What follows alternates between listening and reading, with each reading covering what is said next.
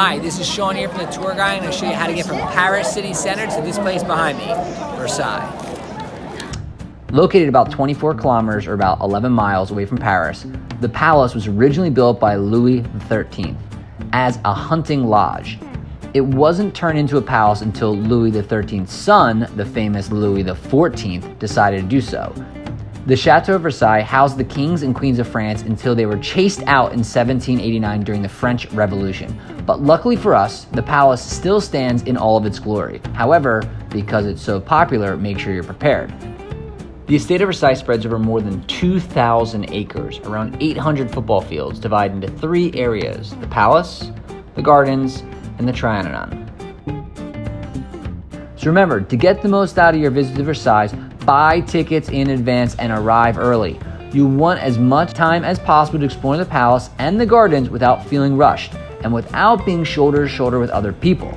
This piece of history deserves your undivided attention. So, with the right information and a bit of planning, it's well worth the trip. How to get to Versailles from Paris?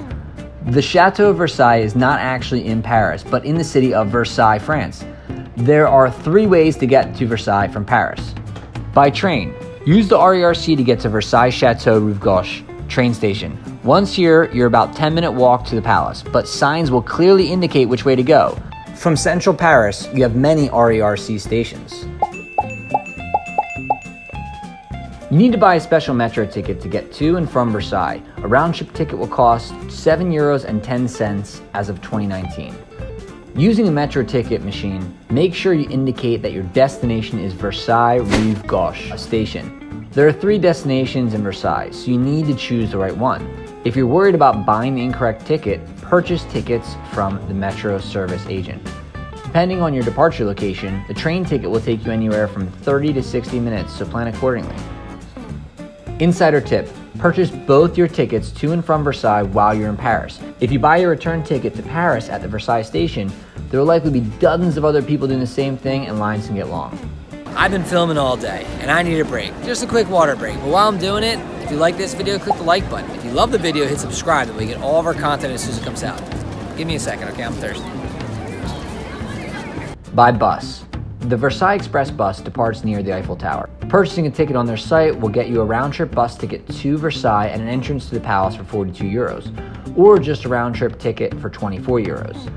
But note that all their tickets are for half day transfers, so going to this route means you'll have limited time in the palace. A second bus option, bus 171, will take you to the palace from Pont de Sèvres area.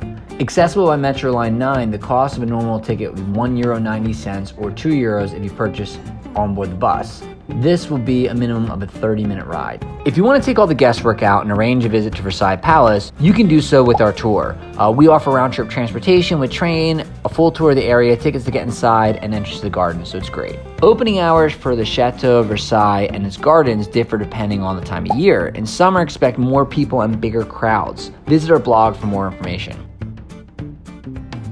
So that's it. Now you know how to get to Versailles from Paris. If you like this video, click the like button. Love this video, subscribe to get all the content as soon as it comes out. Otherwise, au revoir. For that per Versailles. Oh, Versailles. That's cool. so sunny.